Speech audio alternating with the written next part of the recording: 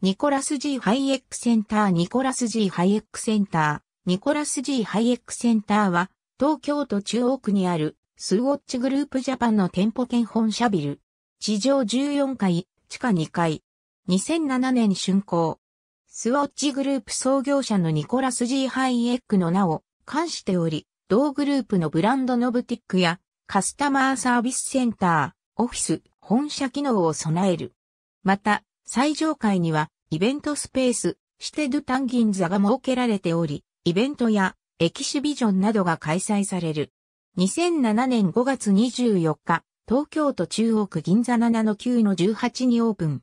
設計は指名コンペで選ばれた坂茂建築設計が手掛け、コンサルタント会社のハイエックエンジニアリングが発注者であるスウォッチグループジャパンをサポートした。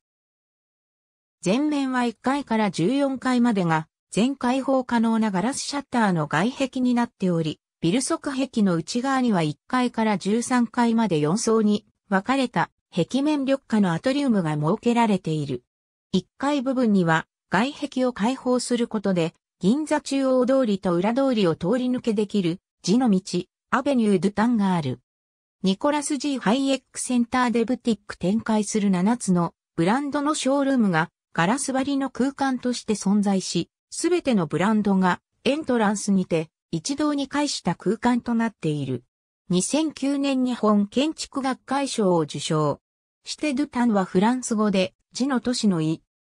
プロジェクト、スウォッチ本社、ビル、コンペアンを超えるガラスシャッターをゼロから開発、日経アーキテクチャ2007年8月24日。プロジェクト、銀座の中央通り沿いに、緑の空間を生み出すニコラス G、ハイエックセンター日経アーキテクチャ2007年1月26日、ショールームを兼ねる総ガラス張りの7機のエレベータは、横浜エレベータ製で、7つのブランドそれぞれのブティックに直結している。第50回エレベーターはショーケース？ニコラス G ハイエックセンター2007年7月9日。ありがとうございます。